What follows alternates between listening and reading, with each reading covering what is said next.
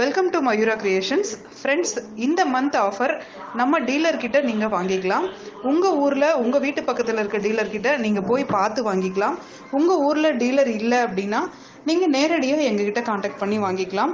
இந்த ஆஃபர்ஸ் வாங்குறது மூலிமா உங்களுக்கு உங்களுடைய பணமும் மிச்சமாகும்.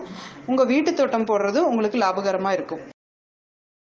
Welcome to Mayura creations friends இன்னைக்கு நம்ம அழகு பூக்கள் வரிசையில் என்ன பூ பார்க்க போகிறோம் அப்படின்னு பார்த்தீங்கன்னா காஸ்மாஸ் இதில் ஆரஞ்சு கலரில் இருக்குது எல்லோ கலரில் இருக்குது ஆரஞ்சும் எல்லோவும் மிக்ஸ் ஆன மாதிரியும் இருக்குது இந்த பூவினுடைய விதைகள் நம்மக்கிட்ட இருக்கக்கூடியது தான் நம்மகிட்ட இருக்கக்கூடிய பூக்களுடைய விதைகளில் ஒவ்வொன்றும் வளர வளர உங்களுக்கு அது எப்படி வளருது எப்படி வளர்க்கணும் அப்படிங்கிறத நம்ம தெளிவாக வீடியோவில் சொல்லிகிட்ருக்கோம் இந்த காஸ்மாஸ் பார்த்திங்கன்னா ரொம்ப ஈஸியாக வளரக்கூடிய ஒரு பூன்னு சொல்லலாம். எல்லா கிளைமேட்டுக்குமே இது தாங்கி வளரக்கூடியது. வெயில் மழை பனி எல்லாத்துக்குமே நல்லா அழகாக வளரும். பெருசாக பராமரிப்பு இதுக்கு தேவையே கிடையாது. நீங்கள் தரையில் போடுறதுனாலும் போட்டு வளர்க்கலாம். இது தரையில் போட்டிருக்கோம். ஒரு மூணு அடி வரைக்கும் வளருது. நீங்கள் இல்லை பாட்டில் போட்டு வளர்க்கணும்னாலும் வளர்க்கலாம். பாட்டில் நம்ம போட்டோம்னா எவ்வளோ பெரிய பாட்டில் வைக்கிறோமோ அது பொறுத்து தான் பூவினுடைய சைஸ் கிடைக்கும்.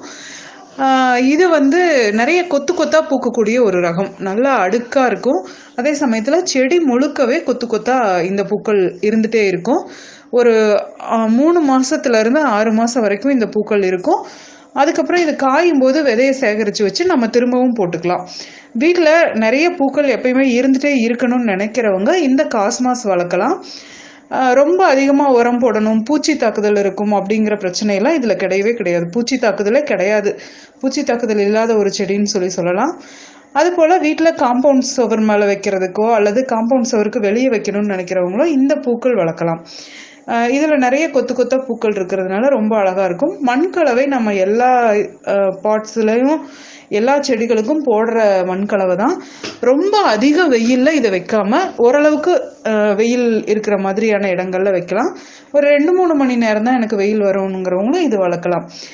இன்னும் மீதி எல்லா அழகு பூக்களோட லிங்க்கும் நான் கீழே கொடுத்துருக்கேன். அது பாருங்கள் இந்த அழகு பூக்கள் வரிசையில் இந்த காஸ்மாஸ் ஒரு முக்கியமான பூன்னு சொல்லி சொல்லலாம்.